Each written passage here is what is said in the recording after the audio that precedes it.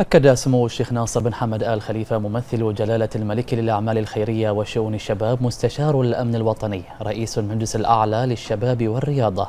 أكد أن متابعة حضرة صاحب الجلالة الملك حمد بن عيسى آل خليفة عاهل البلاد المفدى حفظه الله ورعاه لسباق الشرق الأوسط للرجل الحديدي يؤكد الاهتمام البالغ من قبل جلالته للارتقاء بالحركة الرياضية البحرينية وتعزيز مكانة البحرين على خارطة الدول العالمية. كونها جاذبة للبطولات الرياضية والمكان المفضل لإقامة مختلف الفعاليات الرياضية.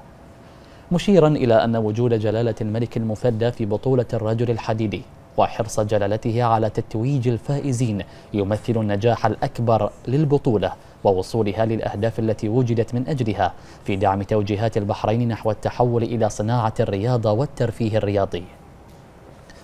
وأكد سموه أن الرياضة البحرينية تسير في الطريق السليم الذي يتوافق مع الرؤية الملكية السامية والتي جعلت البحرين تحقق العديد من الإنجازات في العصر الذهبي.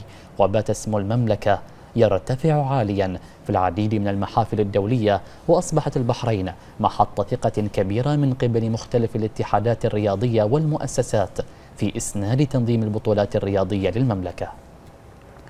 وأعرب سمو الشيخ ناصر بن حمد آل خليفة عن تقديره البالغ لاهتمام صاحب السمو الملكي.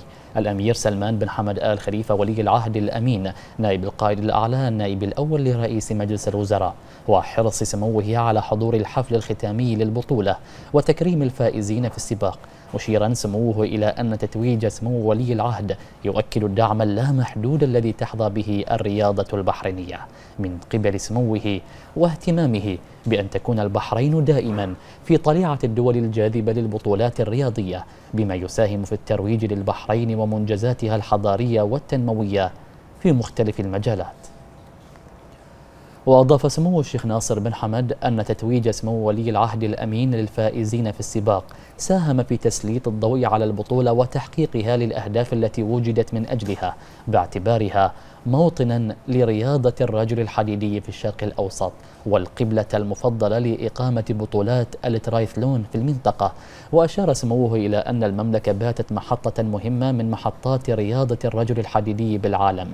لكونها أرست دعائم قوية لهذه الرياضة بالمنطقة وسجلت حضورا لافتا في ميادينها مؤكدا سموه ثقته الكاملة باللجنة المنظمة للبطولة واللجان العاملة في إظهار الصورة الطيبة لكافة مراحل المنافسات وتحقيق النجاح التنظيمي المشرف الذي يعكس قدرة أبناء المملكة المشهودة.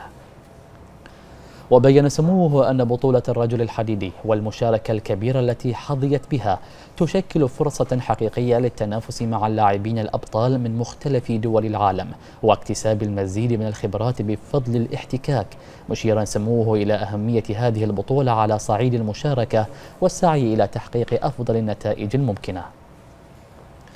وأثنى سمو الشيخ ناصر بن حمد آل خليفة على الجهود الكبيرة المبذولة من قبل اللجنة المنظمة التي تهدف إلى تحقيق النجاح المطلوب لهذه الفعالية على أرض البحرين مشيرا سموه إلى أن الطاقات الشبابية البحرينية تمثل عنصرا من عناصر النجاح المعتمدة دائما في مثل هذه البطولات وعرب سموه سمو الشيخ ناصر بن حمد آل خليفة ممثل جلالة الملك للأعمال الخيرية وشؤون الشباب رئيس المجلس الأعلى للشباب والرياضة رئيس اللجنة الأولمبية البحرينية.